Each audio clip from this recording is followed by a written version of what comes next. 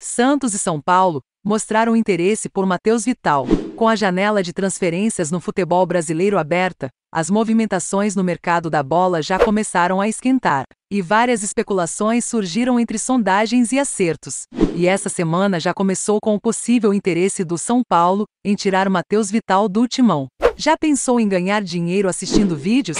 Faça seu cadastro no link da descrição e ganhe 130 reais agora mesmo para começar. O aval do técnico Rogério Ceni e as opções negociáveis animam o São Paulo. Já o Santos se assustou com os valores. Com isso, o destino do meia Matheus Vital pode ser o tricolor. Nos últimos dias, o nome do meia corintiano foi levado à diretoria do São Paulo, que repassou a possibilidade de contrato para a comissão técnica e teve o aval de Rogério Ceni. O próximo passo será discutir o modelo de negócio entre os clubes. O Corinthians gostaria de receber algum valor financeiro ainda nesta janela de transferências, mas o Timão admite conversar e chegar a algum acordo bom para ambas as partes. No primeiro contato, o tricolor deixou claro que não conseguiria fazer grande investimento no jogador, mas se animou com duas possibilidades: a de empréstimo com o Corinthians arcando parte do salário do jogador, ou até mesmo a contratação definitiva, com Vital rompendo o contrato amigavelmente com o Timão, que manteria parte dos direitos do jogador a fim de lucrar com uma possível venda no futuro, claro.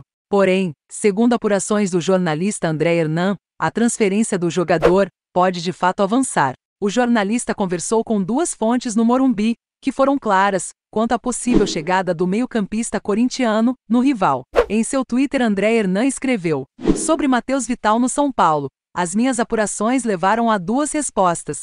A primeira diz, chance zero, e a segunda disse, não. Vem, pode cravar. Nos últimos dias, o Santos também fez sua consulta por Matheus Vital, mas acabou recuando por motivos dos valores de salário. E isso, mesmo com o Corinthians bancando a parte. Os números ainda foram vistos como altos pela cúpula do Peixe.